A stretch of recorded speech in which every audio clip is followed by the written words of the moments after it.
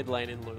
Yeah, and Lulu going to be able to keep Wushin a little bit safer in these fights here as well with that wild growth. Ebb and Flow going to be working from Liam here as well. One of the best sort of aug augmentative. Three in the bottom lane at about three minutes. Yeah, and that's going to be MLXG easily coming in with the counter gank here as well, but that's Zenith's way to come down. The double bubble here as well as Wushin's coming in. The double teleports at the same time. The longest auto attack in history for first blood for Wushin as Let Me Now is getting aggressed on. At this point in the game, Trinity, wow.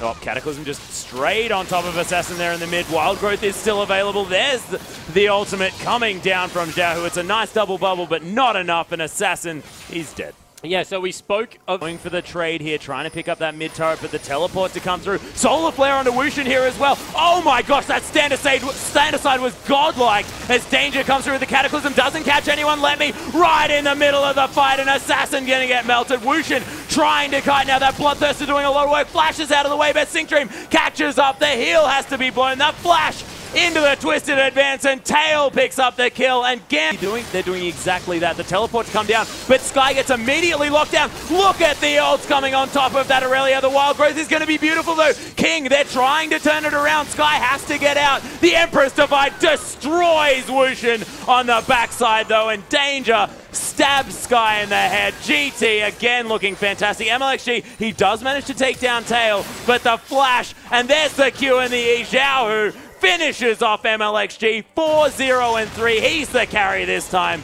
as Assassin tried to come round from the backside, but Let Me and Sync Dream have discovered him, and the Birdman is approaching. This guy is so scary. Glitterlance, Assassin's just being really annoying now on this Lulu. But this is once again Gamtee, I guess, prioritizing the kill. There wasn't really an objective to push, and in the end, it means that I think that was an ace for one kill damage that he insta-kills them because it honestly looked like their body was destroyed as Lamb.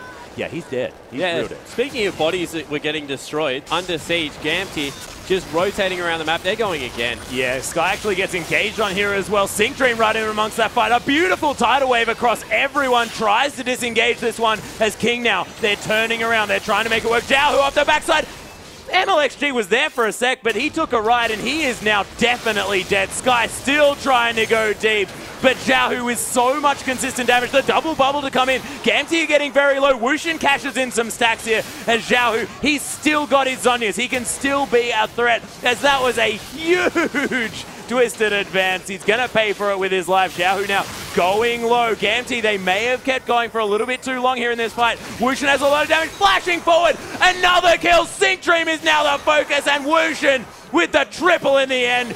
Turn it around for the That's bad news because with a Leona rolled over the wall, they're nice and clump. Oh my gosh, there's the Solar Flare, the Cataclysm as well. It's a nice tidal wave to try and stop this one out, but Wushin, he's way in the front line and he's gonna die straight up. It. Well, they're going to try and do something here as Sky's around to the side. MLXG not able to get the steal, and he's most definitely dead. And Sky and the rest, the enemy support uncomfortable. The inhibitor turret's going to go down. Gamtee, they're going to start this fight up. Let me, oh my god, he was dead for a second, was Liam. And Wushin, that solar flare was godlike, and look at the damage from this Corki Azir. Sky trying some fancy footwork to get out the backside, and Danger diving very deep. But King have been torn to shreds, and this bottom lane has been punished for that early lead over and over again. Yeah, they certainly have, and it looks like they want to continue to try and push in. And the problem with the flank coming through from Nidalee means that they're not grouped as five, and the force is just too easy. They're looking to close the game out. The Nexus turrets are falling down now. Gamtee putting a clinic on this series as they take